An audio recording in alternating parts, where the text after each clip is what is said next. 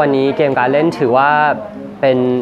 วันที่สม่ำเสมอมากครับตีดี แต่ว่าทำสกอร์ไม่ค่อยได้ครับ ตีเหล็กถือว่าดีมากครับ แต่ว่า putt อะไรไม่ค่อยลงเลยครับโอเคก็ขอให้แฟนๆมาตามเชียร์ทุกคนนะครับ เพราะว่าแมตช์นี้เป็นแมตช์ที่สำคัญมากสำหรับ